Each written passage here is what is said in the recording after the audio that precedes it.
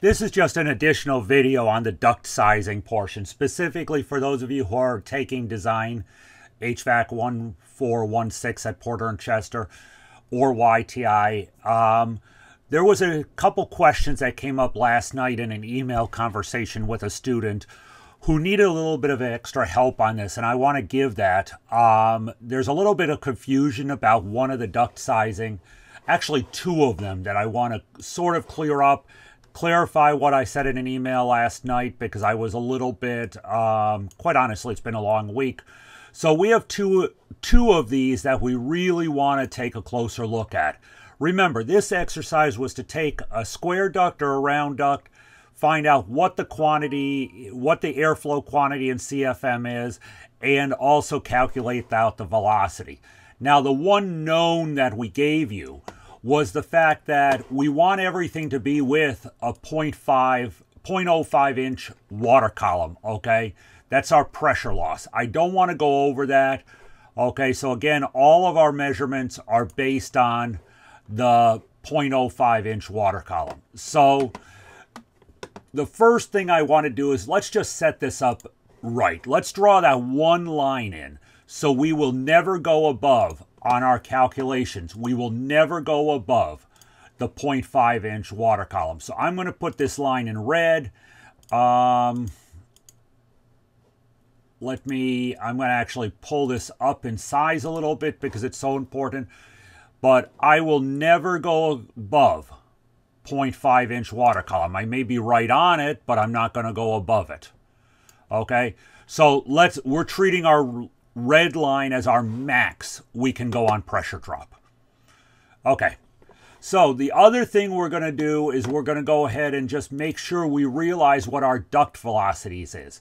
Okay, for branch lines, which is the branch lines that come off the main duct and go to each room, okay, or each part of an individual register, like ceiling register, floor register, whatever, we want to be over here okay, on the branch duct side.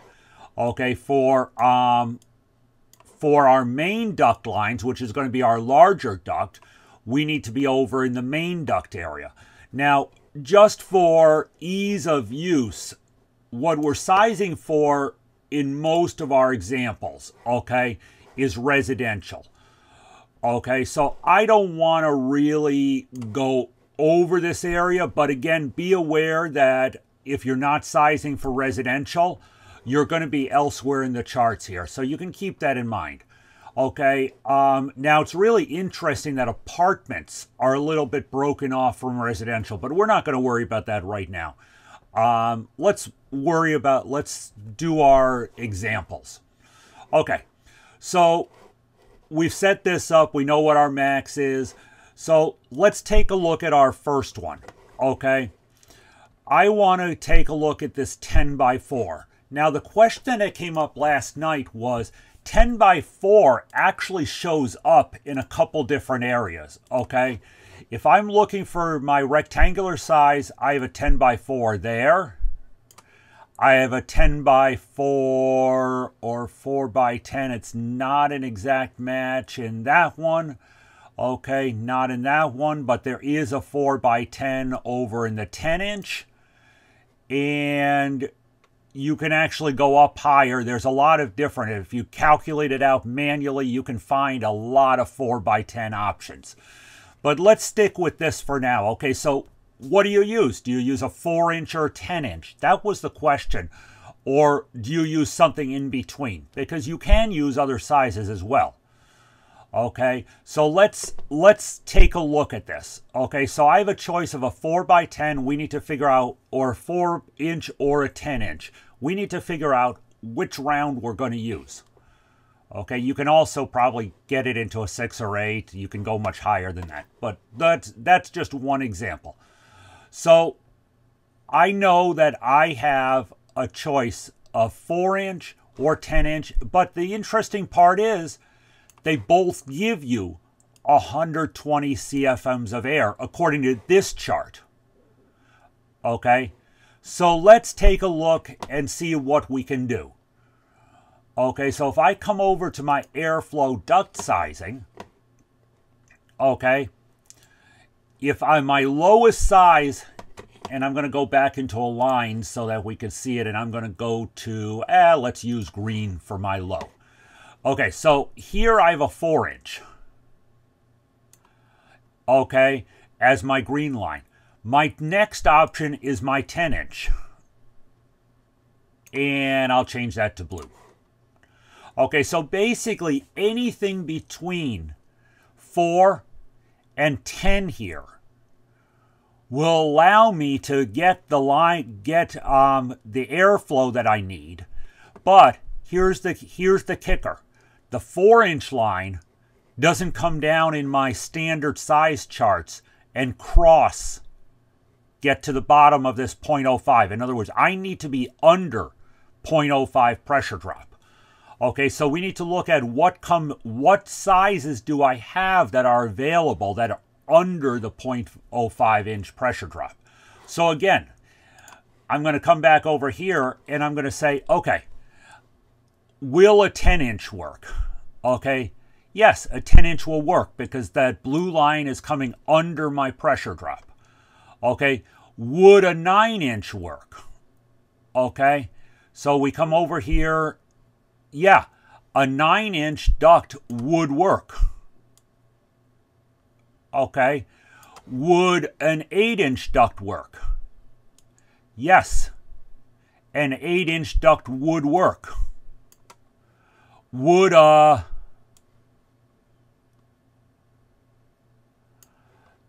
seven inch duct work? Yeah, it would work. Would a six inch duct work? Yes.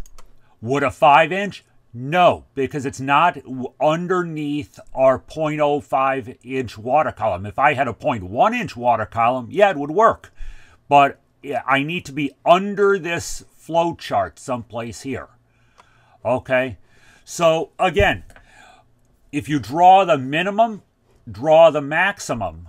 Okay, you can get, you can figure out different duct sizing. Now here, if I use a six inch, I only have about 70 CFM.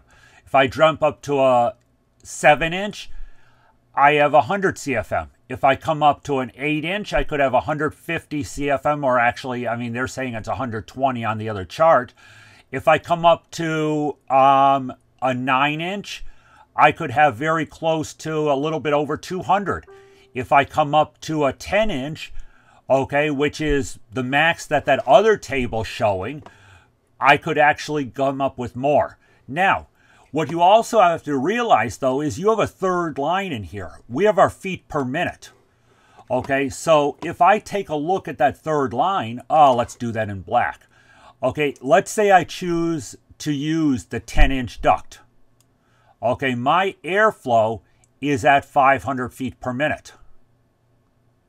If I choose to use the, um, oh, let's say the 9-inch duct, okay, my airflow is still around that 500, okay, feet per minute. Actually, the one for the 10 inch is a little bit higher.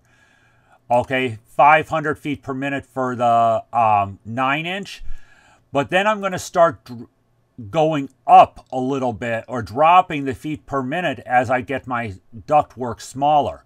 So you have to worry about that as well. Now, if I go too high, okay, let's think about this. I could still go up to like even a 20 inch duct from my high side, but look what happens to my feet per minute.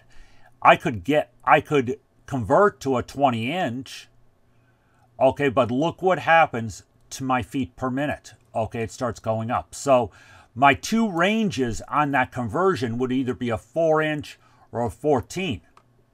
Well, I'm sorry, or a 10. But my feet per minute make a difference, and so does my CFM and my pressures. Okay, so a little bit of this comes with experience. What am I going, what's my design CFM for that room? So in terms of answering this lab, I'm going to accept any answer, either of those. Well, I'm really only going to accept a 10 inch answer because that is the one that's within range of my static, of my pressure drop and um, what it's showing on the chart is a conversion. Now, I'm going to try to later on show you a picture of a ductulator and we'll go down that road. But again, my feet per minute is very important. So if I have a 10 inch duct and 500 feet per minute, if I come over here to duct velocities, I can use that as a branch duct or as a supply run. Okay, there's a maximum. So in a residential structure, the 10 inch would work. Sort of makes sense on that one. So again, the duct sizing chart, and by the way, 4 by 10 and 10 by 4 are the same number if you take a look at it. Just swap them around. Okay, there's another one in here. Oh, let's see. We have there's another one in here also um, that gives you a big, uh, big range. Because we're talking about three inches inside. Okay, if I can get airflow, if I can get 120 CFM through a 10-inch duct, can I also get 128 CFM through an 8-inch duct, 6-inch duct, and 4-inch duct? Yeah, the problem is the pressures are going to increase. Okay, my static pressure will increase and feet per minute will increase as I get to the lower portions. It's just a matter of fitting the amount of air through a smaller hole. Okay, the other one we had a question on was the 8 inch. Okay, now the biggest question is, okay, I have two types of duct here. I have flex duct, round metal duct. Now this is a really small chart. This one is meant to be a field estimators type chart. Okay, always look at what the duct is made out of, okay?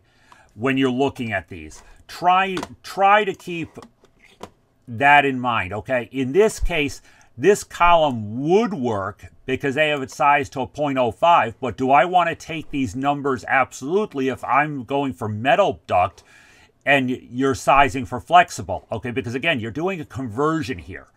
So the reality is I'd really like to use a round metal um, conversion table, but this conversion table is not right for us because it has a 0.05. So these numbers are not going to be right.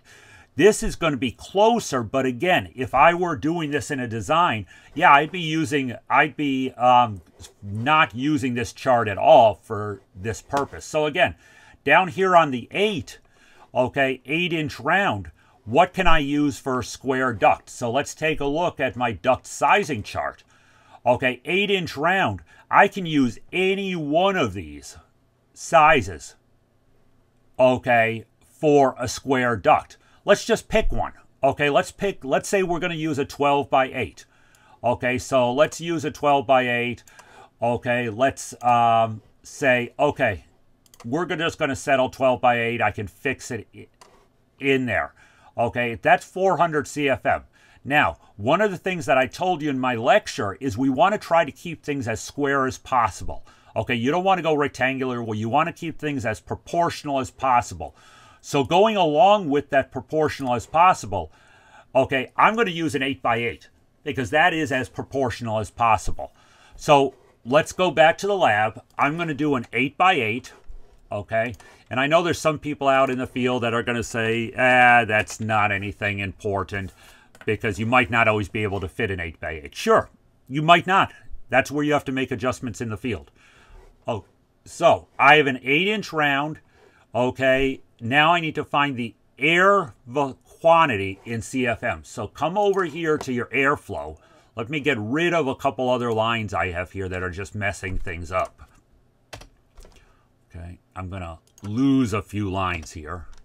I'll leave one orange just for or one of the oranges just because it makes a difference.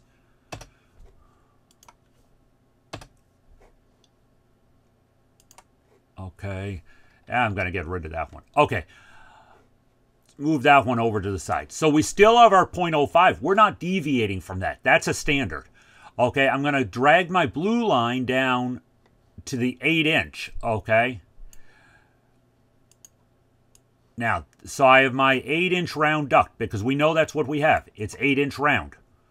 Okay, now, I need to find out where that those two lines cross. Okay, and if I get that orange line straight, it will be a miracle. There we go.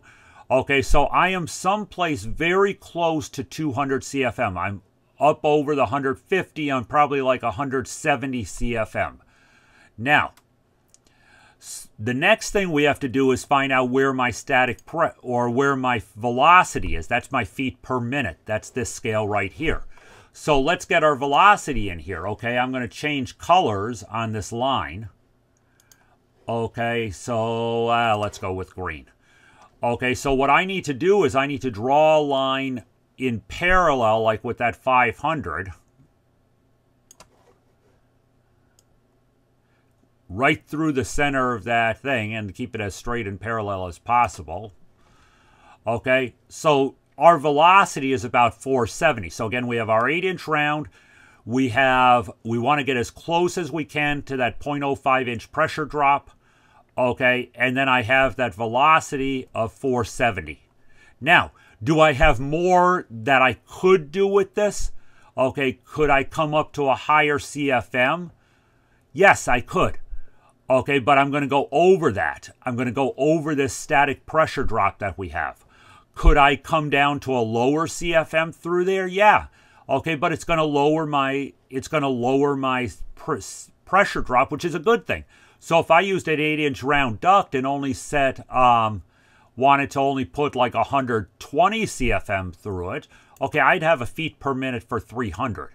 But in this case, because I'm maxing out the pressure drop at our pressure drops we said, which is 0.05, I'm using 470. So again, I can always put less CFMs through a piece of ductwork, but I'll have other additional problems that go along with that in terms of throw into the space.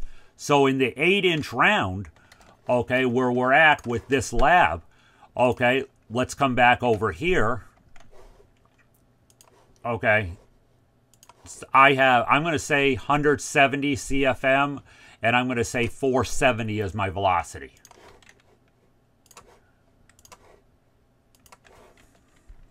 170 CFM and 470 FPM. Okay, now if I came down, if I wanted to calculate for a 5-inch piece of duct work, that actually becomes more interesting. Okay, so duct sizing chart, okay, let me get rid of some of the extra stuff in here. Don't want to confuse the issue. duct sizing chart doesn't have a 5 inch here. Okay, so you have to a little bit look. You're going to have to calculate a 5 inch round. We know from just knowing this, we could use a 5 by 5 Okay, if you think about it, we could just use a 5 by 5 because it's proportional. Okay, so we have that. That's easy. You can do that from memory. Okay, now, if I have to figure out 5 inch CFM, let's go back over here. I'm going to drop this line to 5 inch. Now, we are right on. If you look where we're at on that crosshair, that is right on that 50. Okay, and feet per minute comes way down. So let's say 50 CFM, it's barely usable. Honestly, this is one of these I probably wouldn't even use that size. Okay, but because the exercise is asking us, it's 50 CFM and about 350 feet per minute. So we can put that in there. Okay, so 50 CFM.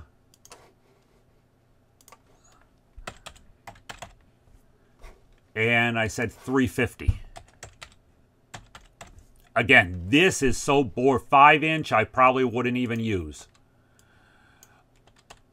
Okay, so now let's try the 12 inch. Okay, I'm not going to do this whole lab for everybody because that's not the point of this video, but I do want to straighten up if I left confusion last night with somebody. So we go to 12 inch ductwork. We take that green line, which is my feet per minute, through where the crosshairs and we also come down to um, where my CFM is, which is the orange line. So I have 600 feet per minute, 500 CFM. So I can come in here, do my 612 inch. Well, let's make it easy. 12 by 12 works. Okay. So I said 500 CFM. 600 feet per minute. Now, here's where you start having to be really careful.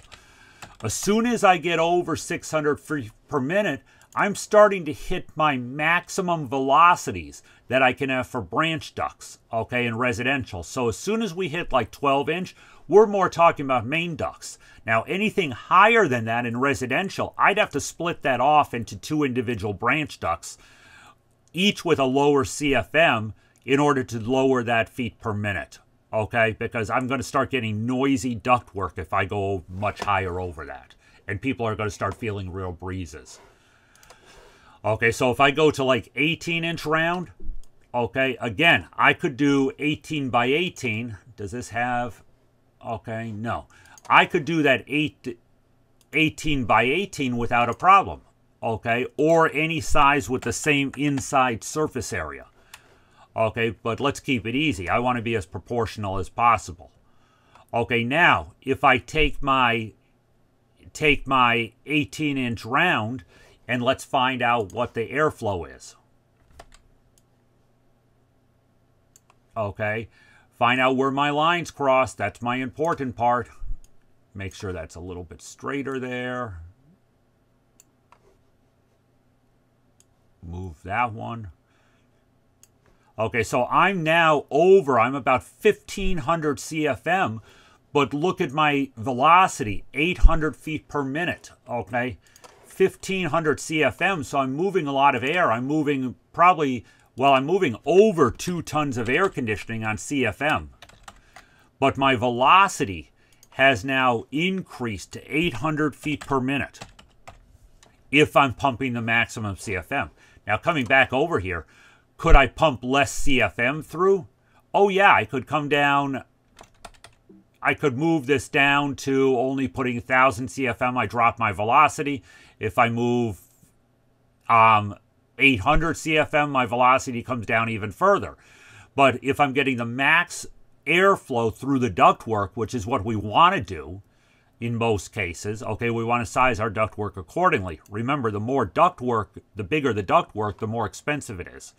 So we want to go where these lines cross. Okay, now, but because I'm up so high, okay, my airflow is now 800 CFM. So I am now the max of the return airflow. Okay, so I hope that helps clear up a little bit of what we're doing. Try not to use the field sizing ductwork, duct um, stuff. You really, this is a, this, these are put out by publication just so you can easily calculate this if you're in the field. But if you're doing design work back at a desk or over a blueprint, take the time and go back to the airflow duct sizing. Now, that is part of the ACCA Manual um, D. And you can I you can find ACCA Manual D out on um, out in on the web, and you can buy it from ACCA. And it gives you all these neat charts and everything inside of it. it gives you a lot of pressure drops, gives you a lot of very good information in the Manual D. So it's definitely, if you're doing a lot of design, grab the Manual D. This is an older version, but the newer version is 2016. So hope that helps somebody.